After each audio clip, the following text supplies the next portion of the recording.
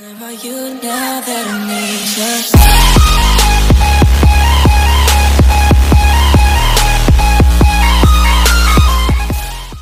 Hello YouTube, this is Maker Mikey Z here, and I'm showing uh, you guys my printer upgrades.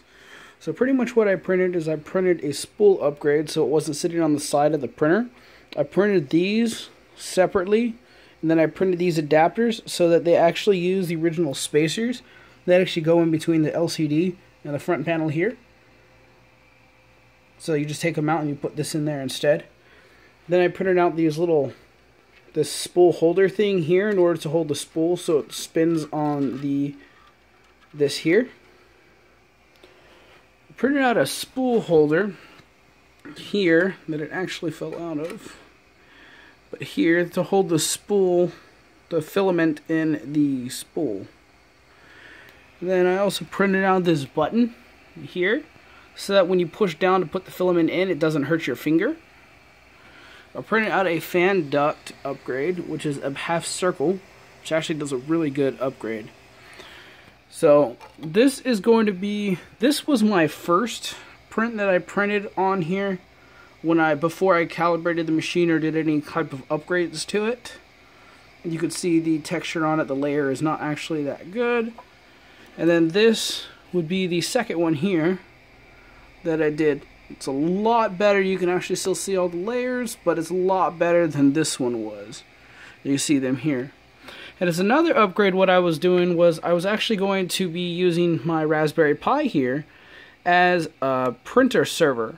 Um, there's a program out there called Octoprint, which obviously allows you to connect to a uh, Raspberry Pi that's connected to your printer and be able to control it. But sadly, the place that I'm living at at the current moment the I don't have access to the router, so I am not able to port forward it so I can actually access this from the internet. But you just connect a webcam to this and you're able to view everything online, do all your prints and everything from online. It's actually really, really cool. But also, while I was doing my other upgrades, I started. I was printing out stuff for uh, the spool holder originally. So these originally were supposed to be wider. They're supposed to be about here. So that's what this was. This was actually the original spool holder. Spool holder is supposed to go here in the middle. The spool goes around this. But instead, I actually printed it like this, so this is pretty much unneeded. So this is pretty much a wasted print. I also printed out the side things that you see here. I printed out different versions of those, but they did not actually work. They were actually too big, and if I resized it, this hole in the middle would was well, was way too small.